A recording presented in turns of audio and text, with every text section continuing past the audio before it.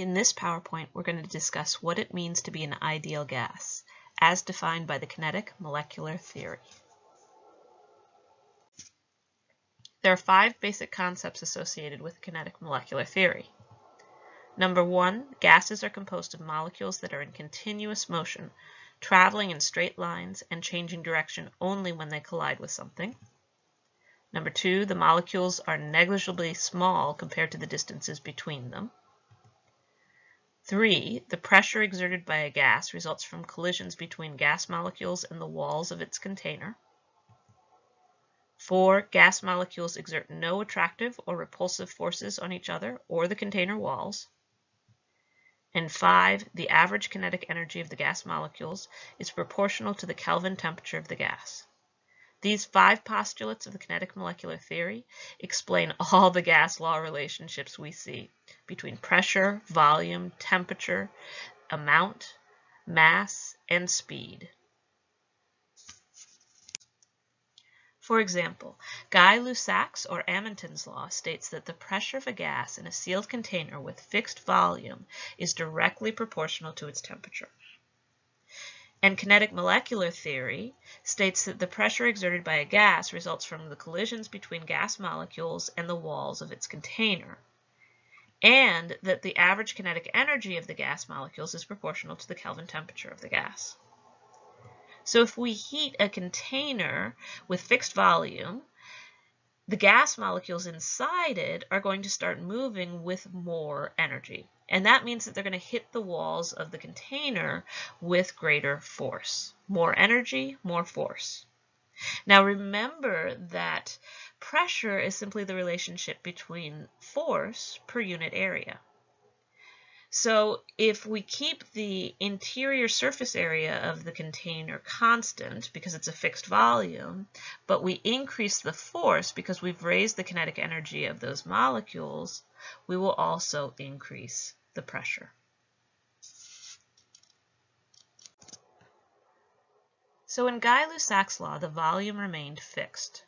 But if we were to allow the volume to change inside our container when it was heated, we would find that the volume of the gas would expand. So in this case, the more energetic gas particles would actually push this piston out. The resulting effect on pressure would be that the surface area inside the container would increase to a point that it would balance out the increase in force due to the more energetic particles and the pressure would remain constant. This is Charles' law. The volume of a gas in a sealed container at constant pressure is directly proportional to its temperature.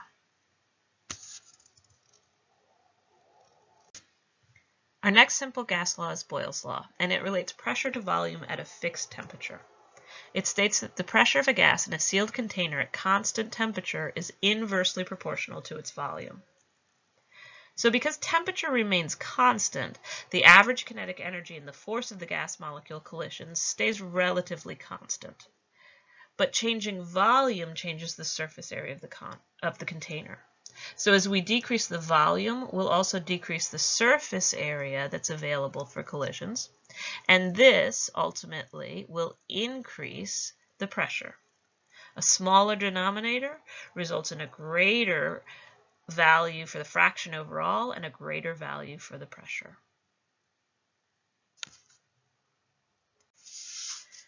Avogadro's law states that the volume of a gas in a sealed container at constant temperature and pressure is directly proportional to the number of gas molecules, n. So if we increase the number of gas molecules at a constant temperature, they'll actually be colliding with the walls of the container more frequently. They'll be colliding with the same amount of energy because it's a constant temperature, but there will be more collisions. And that means that the force inside the container will increase. In order to maintain constant pressure at the same time, then the surface area inside the container must also increase. And that means that the volume of the container increases. This is Avogadro's law. the kinetic molecular theory also explains Dalton's law of partial pressures, which states that the total pressure of a mixture of ideal gases is equal to the sum of the partial pressures of the component gases. As kinetic molecular theory states, ideal gases do not interact with each other. And what this means is that at a constant temperature, volume, and amount, they will exert the same pressure on the container if they are individual gases or if they are combined in one container. Finally, the kinetic molecular theory can also explain Graham's law of effusion which states that the rate of effusion of a gas is inversely proportional to the square root of its molar mass. So it turns out that the rate that a gas particle moves, which is essentially the rate of effusion, can be defined relative to the kinetic energy of the particle. And mathematically, the relationship is kinetic energy of a particle equals 1 half times the mass of the particle in kilograms times the velocity of the particle squared. So when we're dealing with a large number of gas particles, we calculate the average kinetic energy of those gas particles. And that utilizes essentially an average velocity of the particles. And for a large number of gas particles, the best average is actually something called the root mean square velocity. So if you look at a uh, molecular speed distribution for a large number of particles, which is what this graph shows you, what you'll see is that not every particle is moving at the exact same speed. In any population, what you'll find is that some of those particles are actually moving really, really quickly. And some of those particles are moving really, really slowly the majority of those particles, the greatest fraction of them, are actually moving at an intermediate speed, somewhere in between. And that intermediate speed is ultimately determined by the temperature of the particles. Notice that this distribution is not exactly symmetrical. It's got a little bit longer tail here on the higher end. So taking the average of this, the best average is actually this root mean square. And what that's defined as is the square root of the average of the squares of the velocities of each of those particles. It's just a little bit higher than the uh, peak of our distribution, but it reflects the fact that there's a few more particles here on the higher end um, that have to be reflected in our average. So we use the root mean square velocity in our calculation of average kinetic energy. Now we also know from the kinetic molecular theory that the average kinetic energy of the gas molecules is proportional to the Kelvin temperature of the gas. And this can be expressed mathematically as well.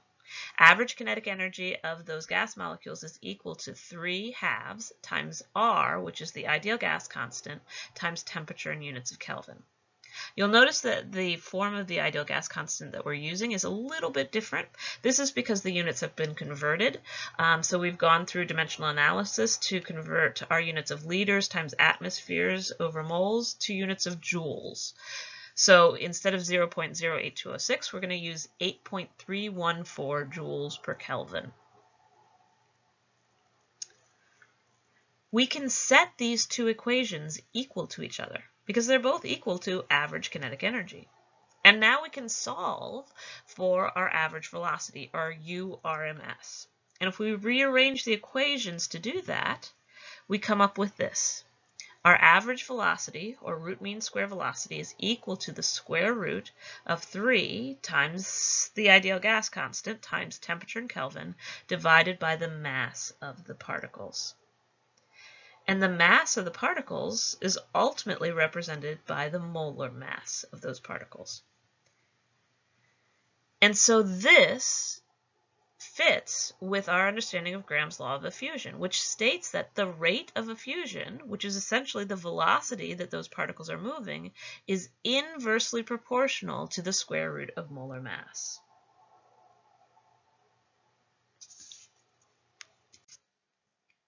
So temperature was also a part of that equation. It was in the numerator, which means that we have a direct relationship between the temperature of a gas and the average molecular velocity. We can see that in this velocity distribution chart for nitrogen gas.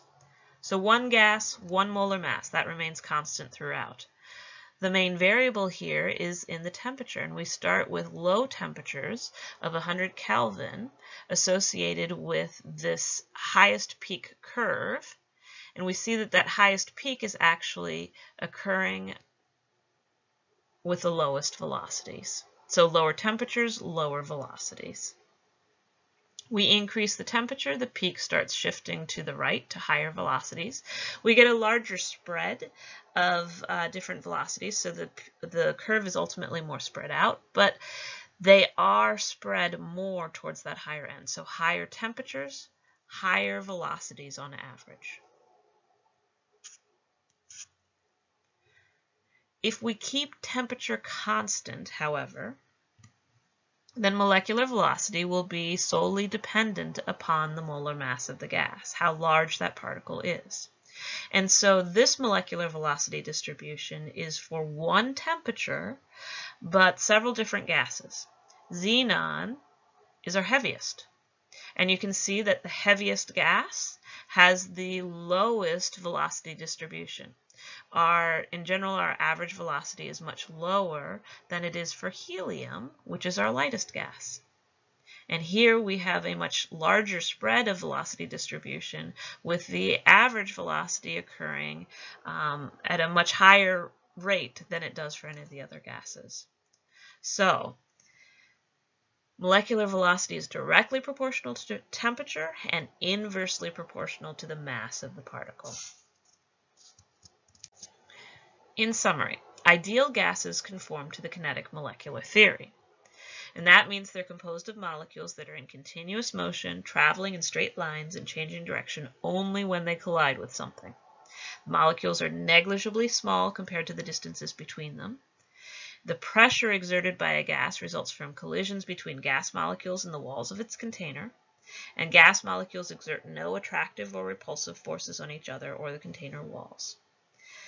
The average kinetic energy of the gas molecules is proportional to the Kelvin temperature of the gas. So if any one of these postulates does not hold true, then the gas is no longer behaving ideally. And that will be the subject of our next PowerPoint.